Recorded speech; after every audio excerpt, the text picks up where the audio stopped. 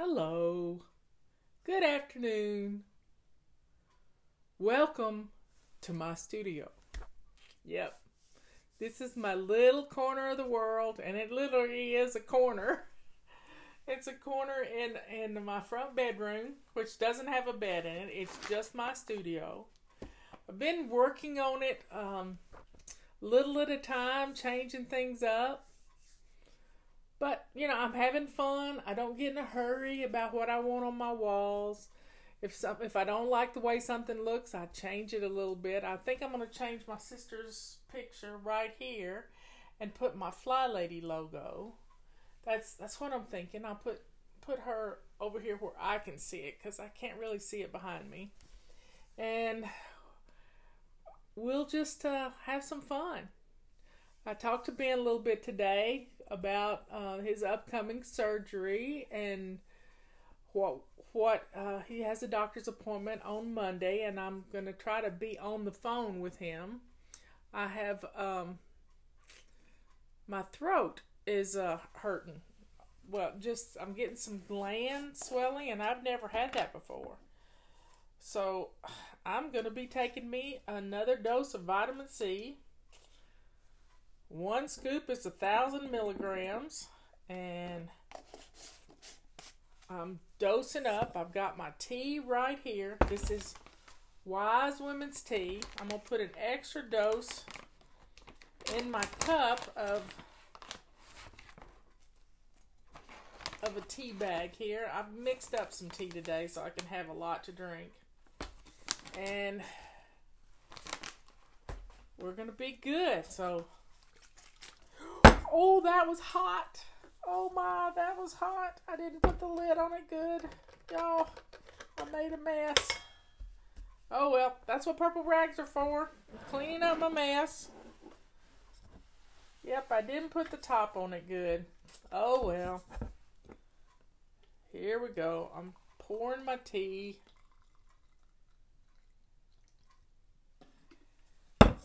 Yeah, I like my tea. I made it about 30 minutes ago. Cleaning up my mess as we go. When you make a mess, you clean it up. My nose is itching. So, get on in here. And I have my tea, and I'm going to stir my little tea bag around. Got my. Leanne gave me a little, little uh, little bitty thing to put my spoon in and my tea bag, but I'm going to leave my tea bag in there. So this is a purple rag that's uh, been used a lot. I've had it for about five years. And then here's one that's brand new. I love them. Still pretty in purple. We like purple. Purple makes us happy. And I forgot to put my microphone on. Here we go. There we go. But one thing about it, when it's laying on the desk right here, you can hear me pretty good. So, folks, let's drink up. Oh, that's tea is a how do you measure your tea? One or two bags to a cup. What I do is I put one bag in my cup right now. One bag in my cup. But I have three bags in my my 25 ounce. This is three cups of tea. So I have three bags in here for three cups of tea. And I can pour some more hot water in it and make more tea. And I have a cup, uh, I have a, a, scoop of, of uh, vitamin C in my little cup and I'll just drink it down. It's medicinal tea but I did make a mess. because I didn't put the lid on it good. Stuff happens when you get in a hurry, and I was kind of in a hurry to get in here. I was running a little late, and that's what happens when you get in a hurry. You forget things. So, we're almost, almost got 200 people in here. I know you're not supposed to touch your nose, but I've only been home today, and I really haven't seen anybody else and my nose was itching. I don't know how people stop from doing that. So I have a topic here. Don't want to do that one today. Don't want to do that one today. It's about boundaries, and that's not what I'm in the mood to talk about. I may just have to pick something and do it on my own. If if I have if I pick three times and I don't like it. Okay, this one I can do. Throwing the baby out with the bathwater. When you mess up, we will jump right back in. Throwing the baby out with the bathwater. You know, that's what we've always done. When we make a mistake, we just give up. We give up. We you know, we make our New Year's resolutions, and those New Year's resolutions are prob- have probably already fallen by the wayside. Y'all know what I'm talking about because it's happened to you. You give up if you make a mistake and miss a day. You just throw in the towel, you know, throw in the towel, um, and give up before you ever really get started. I knew this to happen to a friend of mine who was doing low carb, a low carb way of eating before it was ever really a thing. I think there was like the Atkins way, but she was doing a low carb way of eating and she ate a Snickers bar on Halloween. She had lost 100 pounds, 80, 80 to 100 pounds. And at that point, she was done. She gave up. She said, I can't do this anymore. And that was her, her excuse. And I call it an excuse. But that was her excuse to just not, not do it anymore. This is why we do the hot mess sprint every month. We like to focus one week out of a month on our on on establishing good eating habits. Eating a small portion of meat, eating a salad, eating your green vegetables, and filling up on highly nutritious things. It starts Monday. Join Leanne and me, and we'll do this together. We'll do it together, which is I think is wonderful. I think it's absolutely wonderful because we go to savingdinner.com forward slash sprint to become a part of our um, our little our little sprint. It's where we're going to focus our eating habits. But when we get upset, you know, when we oh, I forgot what what I put it back in the in the basket. But we throw the baby out with the bathwater. We have done that with everything we ever done. We've ever done and that's, you know, you want to know why? It's our perfectionism. It's our perfectionism that causes this. Yes, it's our perfectionism. And I want you to let go of that perfectionism and just jump back in. Don't throw the baby out with the bathwater. Jump in and just act as if it didn't happen. We got a great testimonial this week about that.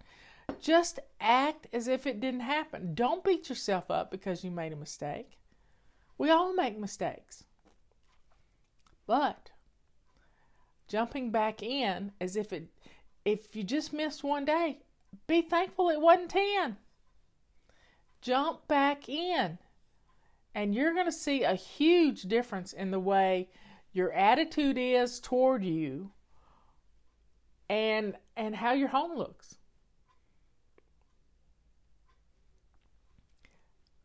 Uh, somebody's battling a virus.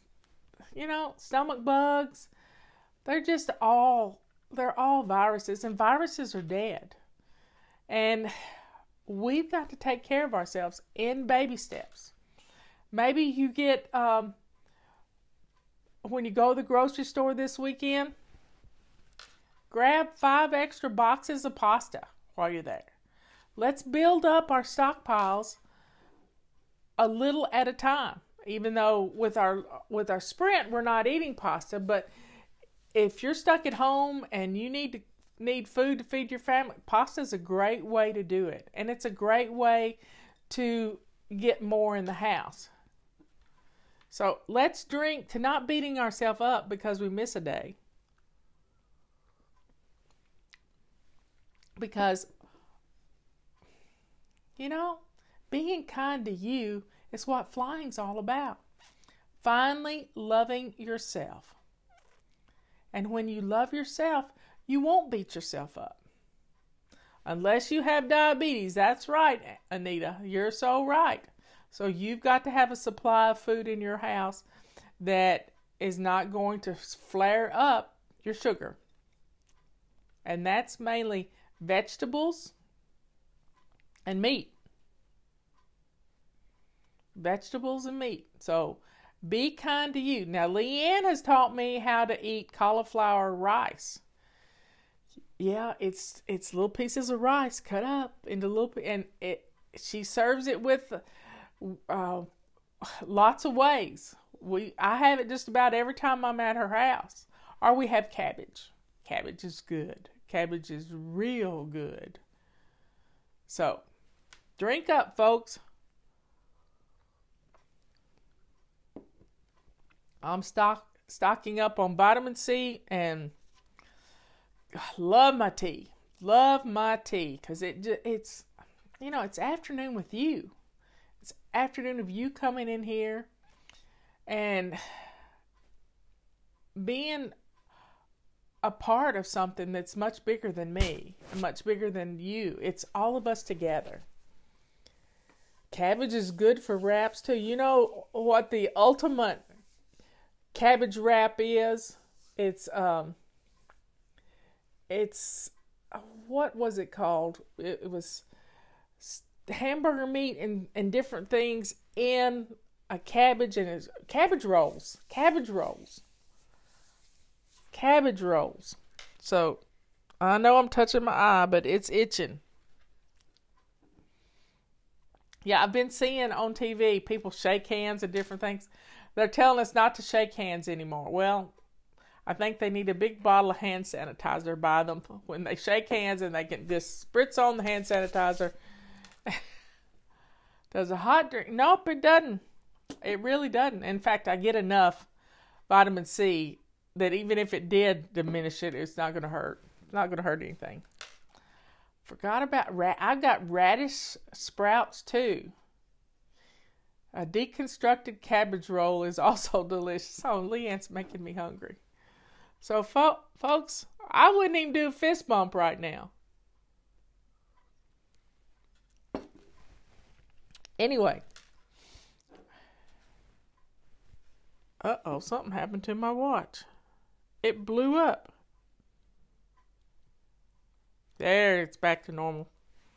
It, it went huge. Well, we're coming up on a full moon. And you know, Monday is weekly home blessing day. And Ben has his doctor's appointment at 8 o'clock on Monday morning. And we're going to find out when his surgery is going to get scheduled for. An air fist bump. That's cute. Uh, my niece is in uh, in Hawaii right now. Brooks Brooke is in Hawaii. She went there for some church thing that she's uh, part of. Roasted vegetables in the oven. The worm moon. Yeah, that's what Robert told me last night. This is called the worm moon. Who knows why it's called the worm moon? I don't know. Maybe because the worms are going to start coming out and um, they come down from deep in and start making their little pathways through the soil and breaking it loose, getting ready for springtime. And tonight we change Spring forward our clocks. We move our clocks forward an hour. And we can do that. You can start this afternoon getting your kids ready. They're not going to know what time it is. And so you can have dinner an hour early. And then that means bedtime can be an hour early. And then get up time. Let's see, we, get, we lose an hour of sleep tonight. So we're going to lose an hour of sleep. So if you spring forward right now with the clocks, worms are getting ready to start eating our gardens. People planting their gardens. I saw uh, yesterday somebody had uh, Paul from uh, Franklin, Tennessee. He had he had planted his spring garden. There's nothing I like any better than green onions and radishes and mustard greens. That's my favorite, favorite thing in the springtime. A mustard salad. And what you do is this is the best part of a mustard salad. You get your mustard greens because they're kind of peppery and I really like that flavor. You slice some green onions into little pieces and then you take radishes and you slice them into little pieces. And then you take some bacon and fry it up. Now, I have a secret secret way to do this. I put my bacon in an iron skillet. And I put my salad in a colander. And I put it in a bowl. And then I take the bacon drippings and the bacon because I cut my bacon up first into lots of little pieces, stir that around, and I pour all of that in my colander and flip it around and I let it drain out, put it back in the skillet, heat it up, and do it again.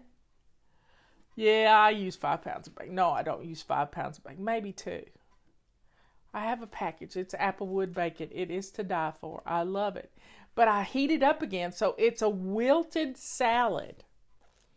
And so I decided to get some some greens to make some sprouts out of mustard seeds and radishes and green onions. Yep.